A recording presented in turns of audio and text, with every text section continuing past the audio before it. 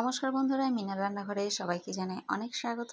আজ আমি আপনাদের নতুন একটা রেসিপি বানিয়ে দেখাবো। এটা বিকালবেলায় বাচ্চাদের যদি টিফিনে বানিয়ে দেওয়া যায়, তাহলে কিন্তু ওরা খুব খুশি হবে আর এটা খাওয়াও ভালো। স্লাইস পাউরুটি দিয়ে আমি এটা বানাবো। অনেকটা পিৎজা স্টাইলে একদম ঘরোয়া পদ্ধতিতে। তো তার জন্য এখানে আমি চার পিস স্লাইস পাউরুটি নিয়ে নিয়েছি। আর পাউরুটিগুলো আমি এভাবে হাত দিয়ে একদম কুচি কুচি করে এভাবে ছিঁড়ে নিচ্ছি। তো এই দেখুন, আমি ভালো করে এটা ছিঁড়ে নিয়েছি আর একদম হাত দিয়ে এটা এই যে একবারে ম্যাশ করে নিচ্ছি। আর এর ওপরে দিয়ে দেব দুটো ডিম। তো ডিম দুটো এই যে দিয়ে দিচ্ছি। এটা শুধু বাচ্চারা না, বড়রাও কিন্তু খুব পছন্দ করবে। তো এবার আমি ডিম দুটো দিয়ে দিলাম।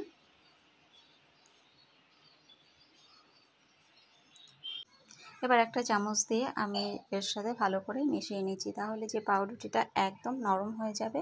তো আমি এটা ভালো করে মেখে তারপর আমি ঢাকনা দিয়ে পাঁচ মিনিটের জন্য ঢাকা দিয়ে রেখে দিচ্ছি। আর এদিকে এই যে ততক্ষণে আমি এগুলো কেটে নেব। তো প্রথমে ক্যাপসিকামটা নিয়ে নিয়েছি। ক্যাপসিকামটা এভাবে আমি কেটে নিচ্ছি। আর এই যে দেখলেন তো, ক্যাপসিকামটা এটা আমি আধখানাই দেব, বেশি লাগবে না। তো ক্যাপসিকামটা আমার এই যে এভাবে কেটে নিলাম। আর এরপর টমেটো।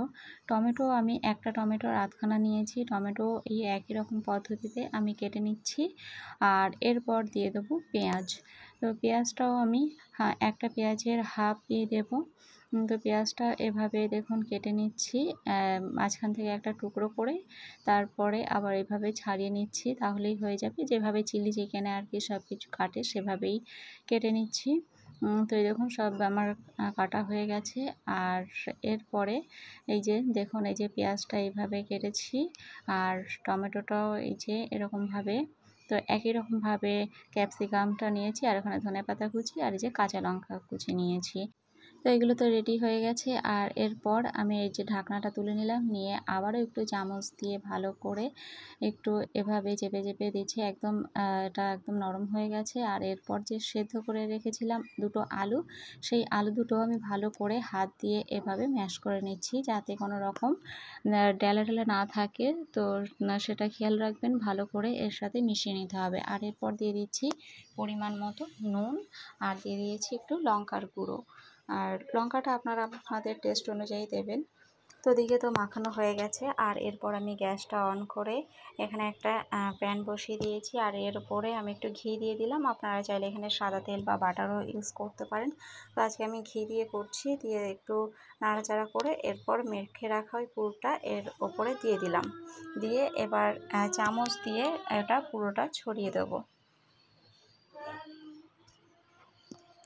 তো এটা দিয়ে দিয়েছি দিয়ে এবার একটু চামচ দিয়ে এভাবে চেপে চেপে এটি ছড়িয়ে দিলাম আর এরপর একটা ঢাকনা দিয়ে আমি দু মিনিটের জন্য ঢাকা দিয়ে একদম লো ফ্লেমে এটাকে জাল করব।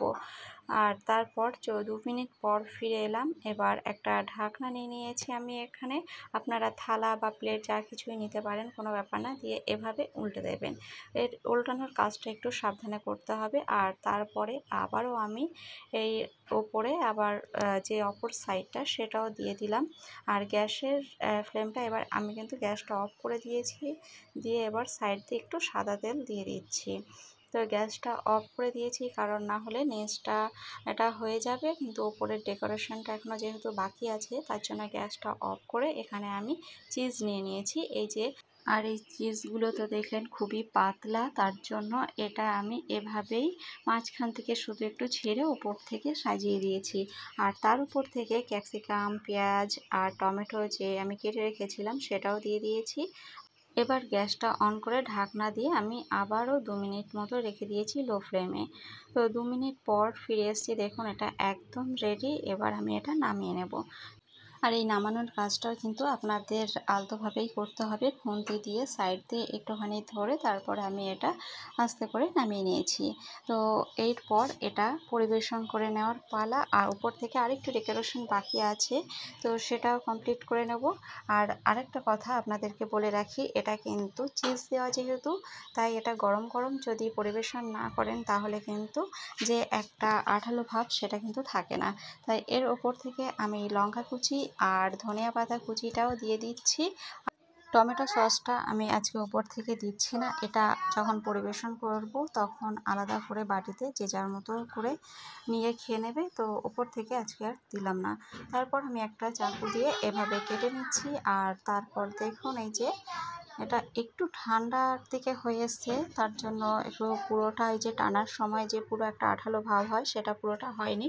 এটা গরম গরম পরিবেশন করলে আপনাদের ক্ষেত্রে পুরোপুরি একদম পারফেক্ট হবে। এটা খেতে কিন্তু খুব সুন্দর হয়েছিল। আপনারাও বাড়িতে এভাবে বানিয়ে সবাইকে খাওয়াতে পারেন। আশা করি ভালো লাগবে। তো ফ্রেন্ডস আপনাদের এই রেসিপিটা কেমন লাগল কমেন্টে জানাবেন। ভালো লাগলে লাইক কমেন্ট শেয়ার আর চ্যানেলটা যারা এখনও পর্যন্ত সাবস্ক্রাইব করেনি তাদের কাছে অনুরোধ চ্যানেলটা সাবস্ক্রাইব করে পাশে থাকা বেল আইকনটি অন করে রাখবেন। আর যারা অলরেডি আমার পাশে আছেন, তাদেরকে অসংখ্য ভালোবাসা। তো আজকের মতো ভিডিওটা এখানেই শেষ করছি। দেখা হবে পরের ভিডিওর সাথে। ততক্ষণ সবাই ভালো থাকবেন, সুস্থ থাকবেন। নমস্কার।